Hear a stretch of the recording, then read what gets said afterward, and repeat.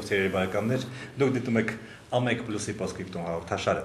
Այսօրվա հաղորդումը ես ուզում եմ սկսել նամակից։ Իդեպ մենք նամակները մենք ստանում ենք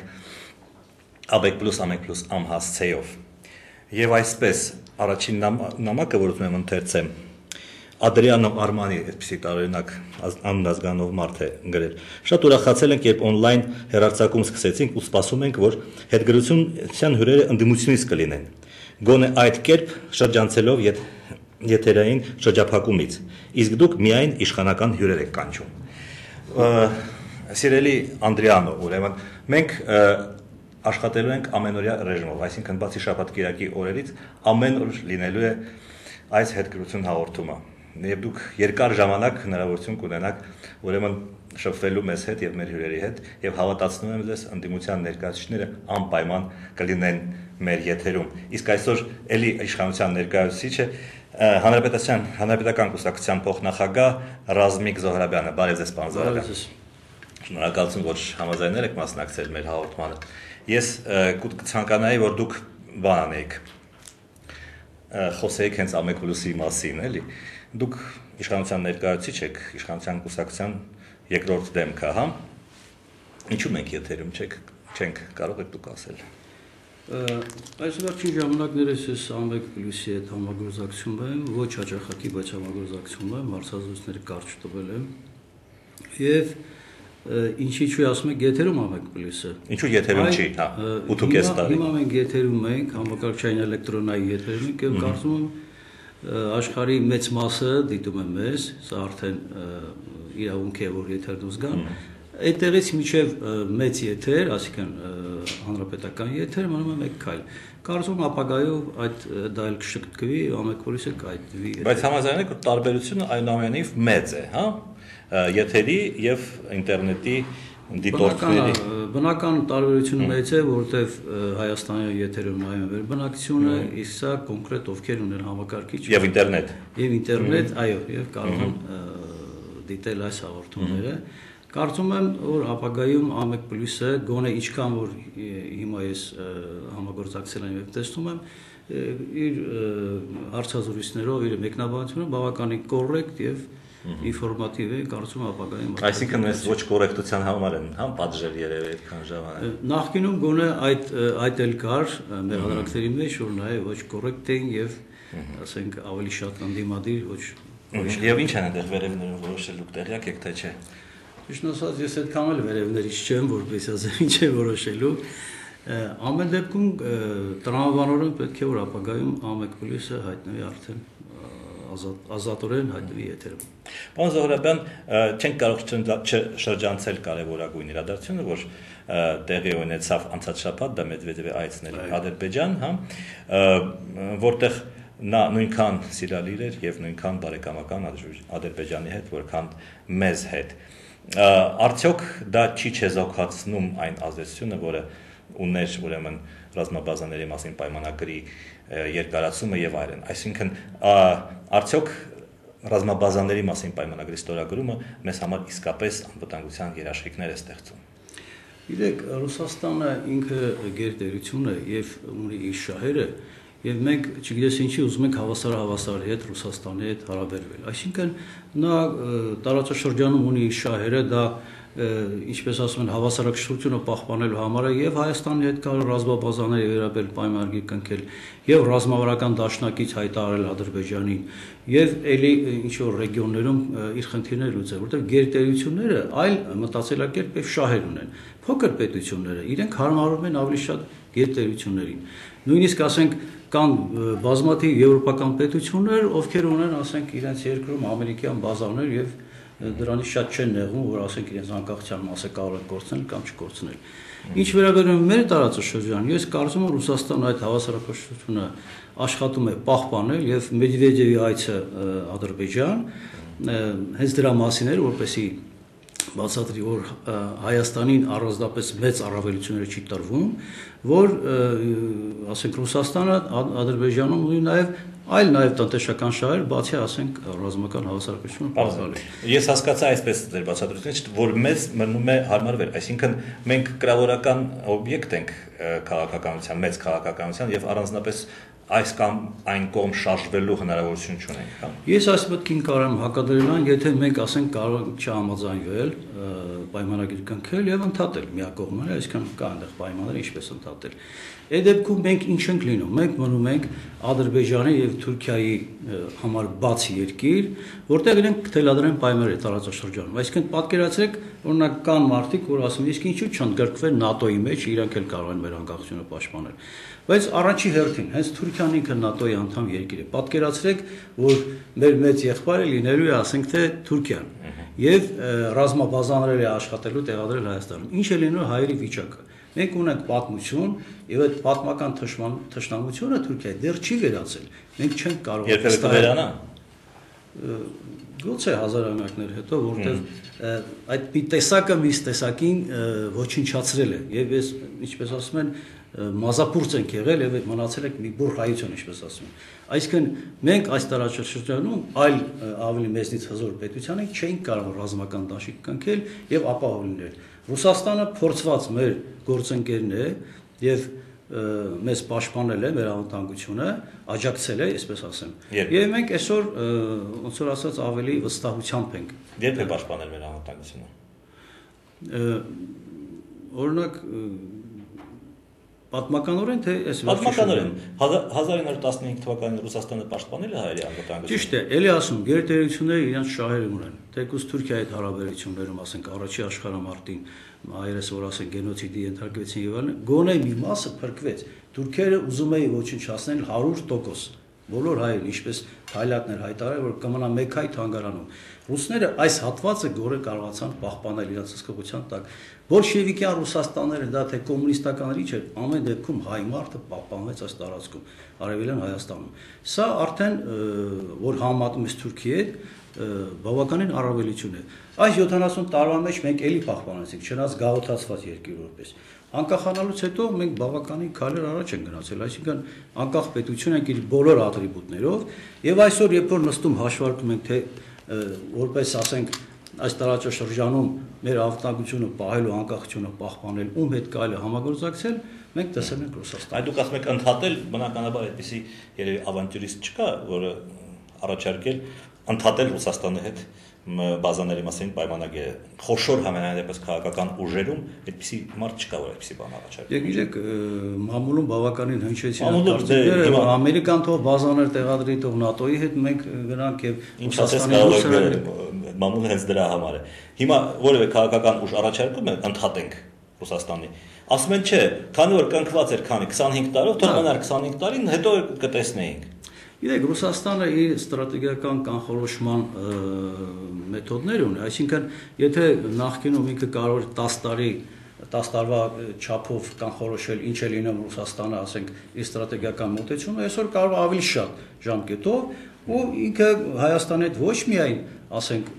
ռազմական համագործակցության խնդիրը, նաև տնտեսական։ Գիտենք ատոմակայանը եւ էլի բավական տնտեսական ծրագրեր կան, որը մեծ ներդրումներ են պահանջում եւ նաև այդ ատոմակայանն էլ անվտանգության խնդիրները պահանջում։ Այսինքն սա կոմպլեքս է, բացի ռազմաբազայից, որ ասենք երկրաժամկետ համագործակցություն, նաև տնտեսական, այսինքն ինքը պետք է վստահ լինի, այսինքն այս պետությունը իմ հետ գոնե այսքան տարի ասենք միջև 49 տարով այսքան տարի համագործակցել է իմ հետ թե չէ բայց սա էլ 100%-անոց չի ասես որ ասած հենց այդպես կա բայց ամեն դեպքում այս գործոնը կա որ Հայաստանը ասենք տնտեսապես նաև եթե ռազմապես ես նաև տնտեսապես ես համագործակցում իսկ մենք գիտենք որ ռուսական ներդրումները այսօր Հայաստանում բավականին ծառակշիռ են դուք հանրապետական կուսակցության անդամ եք վաղուց չէ այո հենց սկզբից հենց սկզբից այսինքն դուք լավ ճանաչում եք Աշոտ Նավասարդյանին, նրա գաղափարները, նրա իմ մանկության ընկերն եւ զինակից։ Հա։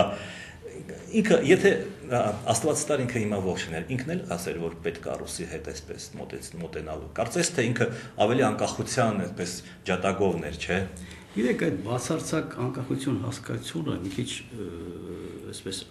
բոլոր պետությունները մեկը մյուսից կախված են, մեկը շատ, մեկը քիչ։ Նույնիսկ գերտերությունները փոքր պետությունների հետ շահկապված են տնտեսապես այլ խնդիրներով եւ այլն, որովհետեւ ի վերջո դե ասենք Աշոտ Նավասարդյանի եթե լիներ իհարկե նա 97 թվին է մահացել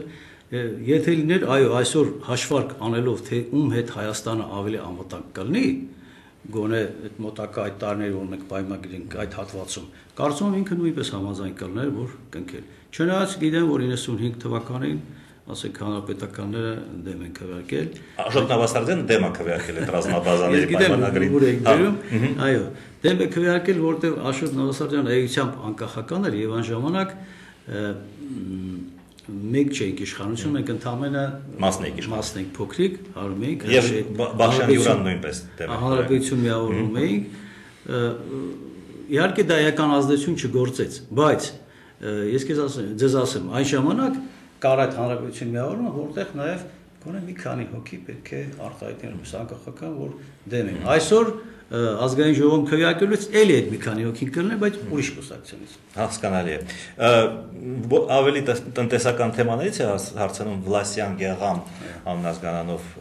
ուրեմն տարբեր թեմաներից է խոսում, ասում է ձեր կուսակցության անդամները իրենց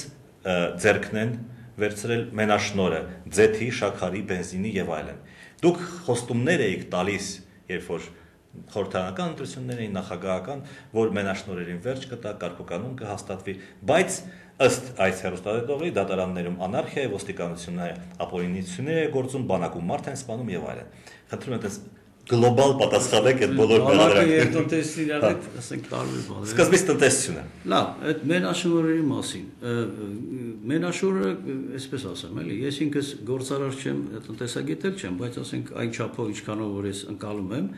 Մարդիկ կան գործարար են, իրենք այդ դրա մեջ ոնց որ ասած ասեն, առաջ են մաղում։ Օրինակ, եթե ինձ տան մեծ գումար եւ ասեն, այ չգիտեմ, մի հատ զեթի ներկրի, շաքար ներկրի եւ արտադրություն արա շաքար եւ այլն, ես չեմ կարողանում, որովհետեւ ինքս տնտեսակ կան մարդիկ, կան հասարակության մեջ ասենք, դեռ ասած տեսակներ, արտադրող, կան ասենք, որ պետական ասենք, այսպես ասած, կարգը պահպանող, կան ասենք քաղաքական հարցեր ներկայացնող։ Հիմա այդ մարդիկ տնտեսվարներ են կարողանում են այդ մենաշոր ասածը միայն հանրապետականի չէ ինչա անդեմության մեջ չկան մարդիկ ովքեր գործարար են եւ ասենք մենաշնոր ունեն կարող մի քիչ քիչ մի քիչ շատ օրինակով է Հիմա Խաչատուր Սուքիասյանը ուներ դուք ասացիք բաներ, հետո եւ Խաչատուր Սուքիասյանը եւ իր անման էլի մարդիկ նրա բիզնեսների մեծ մասը խլեցին նրա ձեռքից, չէ՞։ Հետևաբար մարդը պետք է լինի իշխող կուսակցության անդամ, հա, գործարարության մեջ հաջողություններ ունենալ։ Ես չի ասի, նորմալ ժողովրդավարական պետությունում ցանկացած մարդ կարող է ձեռնարկություն ստեղծել, մրցակցել եւ հաջողություններ ունենալ։ Հիմա այստեղ մրցակցությունը Հիմա հարց է, մենք նորմալ ժողովրդավարական պետություն ենք թե ոչ։ Մենք նորմալ ժողովրդական պետության ճանապարհին ենք, ես չի ասել որ նորմալ է, որովհետեւ բոլոր հարցերը չի որ մեր մոտ լուծած են, որովհետեւ ճիշտ եք ասում, կա մի շերտ, որ կարող է շատ լավ ապրել եւ իր ձեռքը պահել որոշ բաներ, կա մի շերտ, որը օրավոր, չգիտեմ, հաց ճարելու ճանապարհն է։ Դա գախնիկ չի եւ մենք դա չենք ཐակցնում։ Բայց ի վերջո կա մրցակցություն, եթե մեկը կարողանում է կապիտալ ներդնել եւ եթե դրանք էլ չլինեն, ասենք բերեք այն Պանիկովսկի նման բաժանենք հավասար բոլորին։ Պետություն, հա, հավասար բաժանենք բոլորին, ապա պետությունը կքանդվի։ Պետք է լինեն եւ օլիգարխներ, այսինքն վերցրեք աշխարհի որևէ պետություն, որտեղ դա չկա։ Կա բոլորը։ Օլիգարխել կա, աղքատել կա։ Ես Ամերիկայի Միացյալ Նահանգներում եղել եմ, այնտեղ մի սևամորտ այն թիթերի բանկայով կոպեկ էր հավաքում ստիպված բանկեր, բայց ընդեղի օլիգարխները, ընդեղի օլիգարխները իշխանությունից անկախ են։ Իսկ մեզ մեր օլիգարխները իշխանությունից շատ-շատ կախված են եւ բոլորը ձգտում են իդեպ մտնել խորհրդարան, չէ՞։ Եթե դուք ինձ համարում եք իշխանություն որպես փոխնախագահ, ինձանից ոչ ոք կախված չէ օլիգարխներից։ Այստեղ հարց է տալիս հարց է տալիս Վարդանանք ջոտակին հիմնադիր հրամանատարի արծիվ թիվ 14 գումարտակի հրամանատարի կինը ասում է դուք խոստացել էիք դուք երևի անձամբ խոստացել էիք ընտրական արշավի ժամանակ աջակցել բնակարանի հարցով եւ մինչ այժմ չեք կատարել ձեր խոստումը արդեն 6 տարի է եւ այլն տեղյակ եք այդ պատմությունից ճիշտ ասած դա կոնկրետ ինչ չի դիմել գուցե մեր հանրապետականներից որևէ մեկին է դիմել Պաշտոնյաներից ճիշտ ասած ես տեղյակ չեմ կանշենք եւ ես մի հատ փորձեմ անալ ով է խոստվել եւ չկատարել Ահա, հիմա տեսնենք նոր հարցեր նույնպես կան հարց. իրականում քանի միլիարդ ունի մեր որսորդ նախագահը նախքին Գորզակարյանն է հարցնում Մոսկվայից Գիտեք, քանի Դուք հաշվել եք Ռոբերտ Քոչարյանի միլիարդները։ ես չեմ կարող հաշվել, որովհետև եթե նա հայտարարագիր է ներկայացրել, դրան տեղակ չեմ, կարելի դա փակ գախնի չի, այդ հայտարարից իմանալ արդյոք միլիարդներ ունի, միլիոններ, թե ընդհանրապես դրամներ, ես չեմ կարող ասել։ Եվս մի հարց եւ հետո անցնեմ իմ հարցերին։ Ահա։ Մի հարց ունեմ պարոն Զոհրաբյանին։ Ինչ հետաքրում է։ Ինչ լուծում է տեսնում ՀՀԿ-ն, եթե Ադրբեջանն անցնի ավելի ակտիվ գործողությունների։ Կպատասխանի համարժեք ագրեսիայով, ագրեսիայով, այսինքն քայլերով երևի, թե բանակցությունների նոր փուլ կսկսվի։ Կարեն Մարկարյանն է հարցնում։ Եթե ագրեսիա նկատի ունի, որ պետք է սահմանը խախտեն, ինչպես վերջերս եղավ, արդեն մի քանի դեպք, գիտեք որ վերջի վերջի այս օրերին Չարլի դեպքերին համարժեք հակարված տրվել է եւ Ադրբեջանի կողմից զոհրը ավելին է, մեր մոտ ընդհանրապես վիրավոր կա, այսինքն Հայաստանը միշտ պատրաստ է հակադարձելու ագրեսիային ագրեսիայով, բանակցություններին բանակցություններով։ Իսկ լայնածավալ դե, այդ երեք դեպքը այսպես էր, չէ՞, մի դեպքում մենք ուրախadir չէինք եւ նրանց հաջողության հասան հարաբերական։ Երկու դեպքերում կարողացանք համարժեք պատասխան։ Համարժեք պատասխան։ Բայց եթե նրանք լայնամասշտաբ պատերազմ սկսենք, մենք պատրաստ ենք դրան։ Մենք պատրաստ ենք պատերազմին ամեն օր ամեն վարքյան, բայց իհարկե չենք ուզում պատերազմել։ Իհարկե այսօրվա այդ ներվային ջրակցումները Ադրբեջանի գալիս են նրանից, որ հենց նորից գալիս ենք Ռուսաստանի այս պայմանագրերին, որ Ռուսաստանը հայտարարեց, որ պատերազմական ճանապարհ չի լինելու հարցի լուծման եւ ինքը դա կանխելու է։ Այսինքն ոչ Ադրբեջանի կողմից, որ եթե լինի նման հարցակում, շատ հնարավոր է ռուսները ոնց որ դա ընդհատեն։ Կամ եթե չընդհատեն, ապա մենք լծակներով են նրանք ընդհատելու։ Այսինքն խփելու են Ադրբեջանին, թե քաղաքական լծակներ։ Դե չխփել առաջերտին պետք է ճնշում կգործադրեն, եթե դրան չընտարկվեն, կարծում եմ ստիպված զորքեր կմցնեն, որ ասում են խաղաղար երբելին ու ինչեր ունի, շատ հնարավոր է որ զորքեր մցնեն եւ այդ կարդոնը փակվի։ Դա երկրորդ դեպքը եւ երրորդ դեպքը փաստորեն մենք պատերազմելու ենք առանց Ռուսաստանին լսելու, այսինքն դուրս ենք մղելու ադրբեջանական, ասենք, ուժերը Հայաստանի Ղարաբաղի տարածքից դուրս։ Նրանք Ռուսաստանը նկատի ունեմ, բավականաչափ լծակներ ունեն Ադրբեջանի վրա, որ ասում են ձեզ էլ թույլ չենք տալիս որ պատերազմ սկսեք, չնայած մենք չենք պատրաստում, չէ, Հայաստանը պատերազմ սկսի։ Ձեզ էլ թույլ չենք տալիս։ Այլ ռուս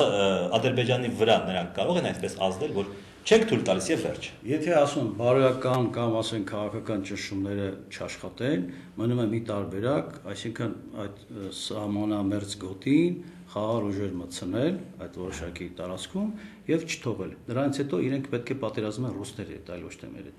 դժվար, դժվար պատերազմներ։ Դե դե ասում չեն պատերազմի։ Բլասյան Գեղամի հարցին վերադառնանք։ Դատարաններում անարխիա է։ Մեր դատարանները անկախ են թե անկախ չեն։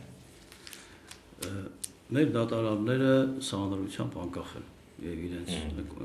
իրականում իրականում անկախ են թե չէ։ Բայց թե կյանքը պես ուրիշ բաներ էլ է թելադրում, կարող է ինչ-որ դեպքում անկախ են, ինչ-որ չէ։ Խոսքը ես գիտեմ, գնում է այն մասին, այսինքն այն դատավարությունները, որոնք անդիմության ներկայացների մասն է խոսքը։ Հիմա ես համարում եմ անդրամասնում, բայց ես օրենքով համարում անկախ եմ, այդպես է սահմանադրությամբ։ Իսկ կյանքում գուցե նաև լինեն շեղումներ։ Ես չեմ ասում, որ մեր դատավորները բոլորը 100% այսպես արդար անկախ եւ շեղումներ են լինում եւ դրա արդյունքում էլ դատավորները աշխատանքից ազատվում, դատախազելը ազատվում, միլիցիայի աշխատակիցել ազատվում, այսինքն կան նաև խախտումներ, կա կյանքի աշխատում է եւ խախտումներ կարող լինել։ Խոթեր դեպքեր կա 20 հոգին անդիմությունից որոնք միջև հիմա նստած են, նրանք դատապարտված են քաղաքական հայացքների թե քրեական հանցագործությունների համար։ Դա արդեն ես կարող եմ ասել, որովհետև ես գիտեմ ինչ բան է քրեական հանցագործություն, ինչ բան է քաղաքական, նրանք դատապարտված են կոնկրետ քրեական հանցագործությունների համար եւ դրա համար պատժժամկետ են ստացել։ Նրանք քաղ-կալանավոր չեն։ Քաղ-կալանավորին եթե դատապարտել են միայն իր խոսքի հայացքների համար, այդ ժամանակ դա դառնում է քաղ-կալանավոր։ Եթե նույնիսկ ես խորհրդային միջան ժամանակ երբ որ դատապարտվեցի, ես կոնկրետ գործողություններ արել, հենց այնպես չէր խոսքի ազատության ասել։ Մենք օրինակ վերջի գործողությունը եղել է Լենինի հրապարակում այդ մեծ 16 մետրոնոց դիմանկարը այրելը, դա գործողություններ։ Ընթատակյա տպարան ունեինք, թռուցիկներ ենք տպում, այսպես իրանց ասելով հակասովետական, մեր ասելով անկախ Հայաստանի կոչ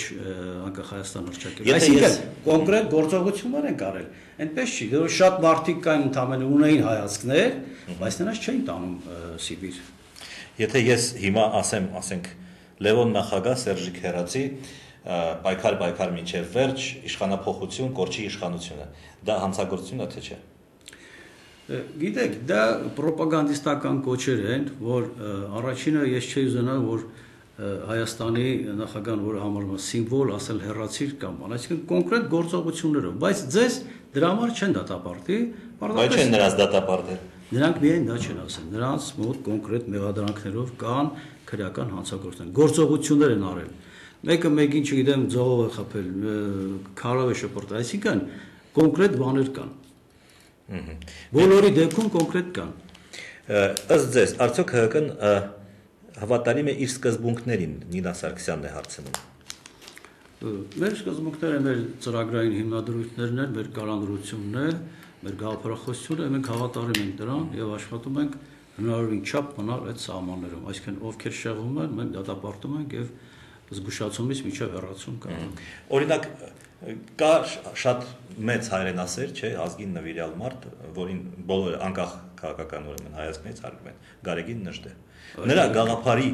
հետ ասենք թե ալրեղացի լովը կապ ունի թե չունի կամ արձականցյան Տիգրանը նրանք կապ ունեն ներդեհական գաղափարի թե չունեն գիտեք ինչ հանրապետական կուսակցությունը մոտ 100 հազարից ավել միջև 130 հազար հասնում է այստեղ ընդունում ազատում եք եւ այլ մաքրում եք Արարացի լովիկը ինքը գաղափարախոս չի ինքը ասենք գործարար է ընդունվել է հանրապետական կուսակցություն հավանվելով Նժդեի գաղափարները բայց եթե իրեն ասես մի հատ մեկնաբանություն արա Նժդեի ինքը չի մի բառ ասա ինքը գաղափարախոս չի Չի չի ասի, չէ ոչ մի բառ։ Չէ, կարող է ասի, կարող է չասի, բայց մենք իրան չենք էլ տվել, որ ինքը գաղափարախոսություն ներկայացի։ Գաղափարախոսություն կարող ներկայացնել կոնկրետ գաղափարախոսությունը կարող մարտիկ կուսակցություն։ Դրանք այդքան շատ չեն ասենք գաղափարախոսական հանձնաժողով կամ Մուշեղլարյանի գլխավորությամբ եւ այնտեղ կան գաղափարախոսներ, ովքեր ներկայացնում։ Իհարկե, ես էլ կարող եմ իմ չափով, բայց ասենք Արարացի լոյիկը աջակցում է հանրապետական կուսակցությունը, որտեղ ինքը կարողանում է հավանում է ծրագրերը եւ գաղափարները Հիմա փողով է աջակցում, թե խոսքով է աջակցում, թե ինչով աջակցում, ինքը կուսակցության անդամ է եւ ամեն կուսակցություն ունի իր պարտավորությունները կուսակցության հանդեպ։ Պետք չի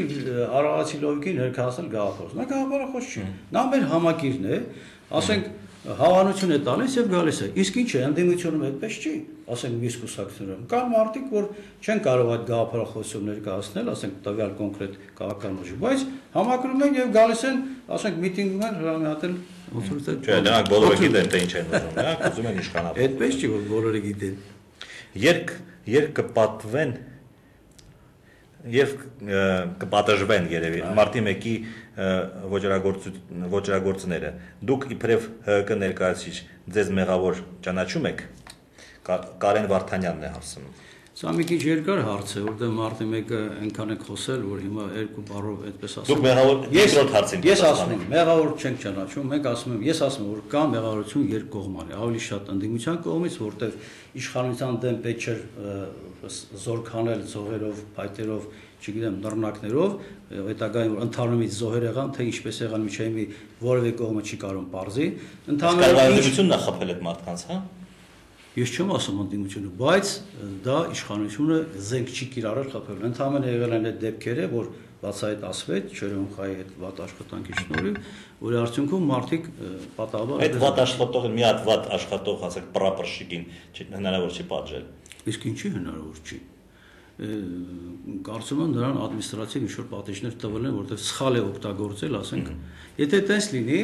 գիտեք բանակում օրական քանի մարդ պետք է բաժի, որտեղ ասենք զենքի հետ գործունալ, սխալ է գործունում եւ Չէ, եղել է ընդդիմության հանրահավաք, սպանվել է 8 հոգի ցուցարար եւ 2 հոգի ոստիկան, որքան հիշում եմ։ Հիմա դրա համար այդ 10 սպանություններից ոչ մեկը չի բացահայտվել։ Դա արտարոց չեք համարում մի քանի սպանությունը բացահայտվել է, որ եղել է ոստիկանի պատժվել է պատժվել են բաց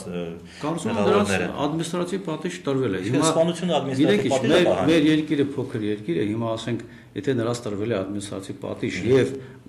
նրանց անունները հրապարակում է, իրենք արյան վրեժ կա։ Կարող մեկի հարազատաս ես դրան դի բռնեմ սպանեմ։ Այսինքն դրա համար, քանի որ դա պետական խնդիր է, այսինքն մարդը հատուկ չի ուզեցել որևէ, այսինքն իր ծառայության ժամանակ ինչ որ միջադեպ էր, ասենք սխալ է կարակվել եւ էլ թողնում։ Այդ տեսեք ինչ է կատարվում։ Այսինքն հատուկ իշխանությունը, ոստիկանությունը չի կարակել այդ ժողովրդի վրա, որ սպան, եթե կարակեր, այնտեղ հազարավոր զոհեր կարա լինեին, չէ՞ այդ խոսքը դրա մասին է, բայց որ եղել են դիվերսիոն ինչ որ մարտիկ կամ խումբ կամ մի քանի հոգի եւ չգիտեմ ում կողմից, ես չեմ կարող ասեմ, որ ընթարում են սարքել, այսինքն մի քանի հոգի սպանել են, որպեսի իշխանությունը այդ մեղքը գցի ընդդիմության վրա, ընդդիմությունը գցի իշխանության եւ այդպես էսկալացիա լինի։ Բայց իշխանությունը հատուկ չի ծրագրել հենց այդ 10 հոգուն սպանել։ Բանզը։ Հենց այդ ծրագրերը 100 բարձ սպանել, ինչ էր 10 հոգ, այսինքն չի եղել նման ծրագիր։ Դա եղել է ընթարման արդյունքում, այսինքն ոստիկանությունը իր այդ զորքը կանգնացած, անդիմությունը այդ փայտով, չգիտեմ, նռնակով ինչ ուզված, ընթարում է եղել։ Մասին խոսք չի։ Տեսեք, մարդիկ խոսացել են միտինգում ինչ որ սխալ բաներ, որոնք ձեզ դուր չեն եկել, նրանց 7-8 տարով նստացրել են։ Ուրիշ մարդիկ ազգուշորեն ենթադրեք սպանել են ինչ որ մարդկանց։ Նրանց ադմինիստրատիվ պատիժ են տվել։ Ճիշտ է դա թե սխալ է Գիտեք, ճիշտն ու սխալը ես չեմ որոշում անձամբ, դա իրենց այդ ուղղակի ղեկավարներն են որոշում, որտեղ դա ծառայողական է, դրանք ոստիկան են։ Եվ ինչ չափի է տրված ճիշտ է, շատ է թե քիչ է, ես չեմ կարող ասել ու այդպես բացայել հայտարարվել թե ինչ պատիժներ, գիտեմ որ ադմինիստրատիվ պատիժներ է տրվել, ասենք որ դուք սխալ եք օգտագործել, ասենք այդ ձեզ տրված ինամիտեր, որը նաև հնացած է։ Ես մանրամասը մեջ չեմ, որովհետև այդ հանձնաժողովի մեջ էլ չեմ, որը քննել եւ Շատ լավ, պարոն Զորավյան, վերջին հարցը, որը այսպես ինտրիգների բնակավարից է, հա, լսել եմ, որ դուք հակասություններ ունեք ազգային ժողովի նախագահ Հովիկ Աբ รา համյանի հետ, այդպես է թե չէ։ Ես։ Ահա, այո։ Ես Օյկ Աբրայանի հետ հակասություն չունեմ, մի 3 օր առաջ իմ առանձնասենյակում նստած մենք զրուցել ենք, որից հետո գործադիր մարմինիստ եղել։ Որևէ հակասություն ես չունեմ, որովհետև ես падգամավոր եմ շարքային, ճիշտ է փոխնախագահ կուսակցության, ինքը ազգային ժողովի նախագահի։ Ո՞ս ինքն է ուզում ազգային կուսակցության փոխնախագահ դառնալ։ Պիսի հարց կա թե չկա։ Իրական թապես քաղաքական գործունեության զբաղող մարդիկ եւ կուսակցության մեջ եղած մարդիկ գուցե ձգտում են դառնալ եւ փոխնախագահ եւ կուսակցության նախագահ, դա իրենց խնդիրն է։ Հարցը թե կարող է սանտարվել թե չէ, դա արդեն մեր 130 հազարանոց կուսակցականները պետք է որոշեն, որոնք պատվիրակներ են ուղարկում համագումար։ Դա արդեն իրենց խնդիրն է, բայց հակասություն ես չունեմ Վոյիկ Աբրամյանի հետ, գուցե ուրիշի հետ ունի սխալ ինֆորմացիա եկել։ Շատ լավ։ Պարոն Զորական, շնորհակալություն հետաքրի զրույցի համար։ Թերելի բարեկամներ, վաղը մենք նույնպես անպայման կհանդիպենք։ Միջ վաղը, տեսություն։ Ահա